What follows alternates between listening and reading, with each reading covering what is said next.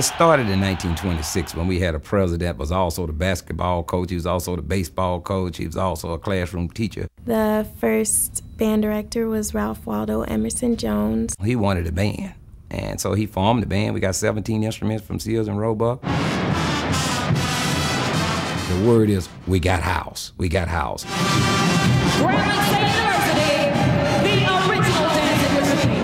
It goes beyond the playing of music. It goes beyond the formations. It gets into the expressiveness of the individual and the heart and soul of the individual. Music has been a big part of black folks, African Americans. Halftime gives us an opportunity to express that. Halftime gives us an opportunity to, to embrace differences, to celebrate differences. Many people, my mother even, came to the the football games that I played in. Sometimes she didn't know my number, but she knew my sister was playing in the band. We like dancing, we like music as a people, and it and it's it's a lot of fun. It's a tremendous undertaking. It's tremendous performance, and uh, it's a happening. As magnificent and seamless as the band's performances appear, the show preparation takes enormous dedication and sacrifice from band members.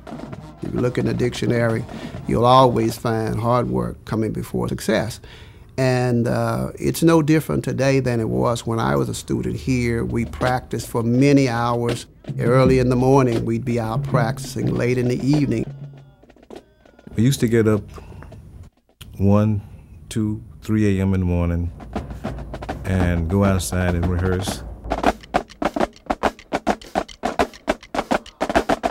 One, two, ready, aim. The students make it special because they work so hard and they put their heart into the band. And they practice. They practice till it's perfect. The world famed bands demanding standards of performance have taken them across the country and around the globe. From the 1964 AFL Championship in San Diego to the first Super Bowl in LA to presidential inaugurations in Washington and across the oceans to Japan and Africa, the band has played for presidents, emperors, cowboy fans, and music lovers alike. Touring the world, the band's musical roots remain at home in the Louisiana soil and the legendary New Orleans music scene. If you're a Louisiana person and you're born with an instrument in your hand, you're gonna be Dixieland influenced.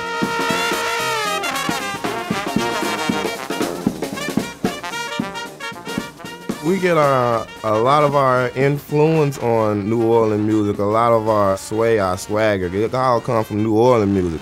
That New Orleans music have that uh, jump, that feel, and we actually play New Orleans music, so that gives us our little energy, our little pep. After Hurricane Katrina's surging waters devastated New Orleans, the band took on a new focus a fundraising tour for Louisiana's victims. A lot of people in the band are from New Orleans and they lost their house. Some of them lost family members. We had to keep our band together and pull together so we can uh, make a, a positive show. So the Grambling Band is on a mission. And when we got to Seattle, we made three performances in every stadium that we packed. All the money went to victims in the name of Grambling State University Marching Band. I saw people crying as we played, and it was just a lot of love and emotion. So basically, we turned something that was negative into a positive situation. We try to make the band do this whole formation as Superdome.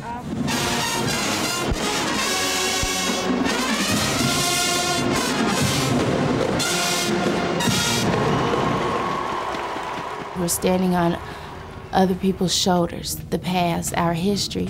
And so if we know our history, we know we have to keep the legacy going.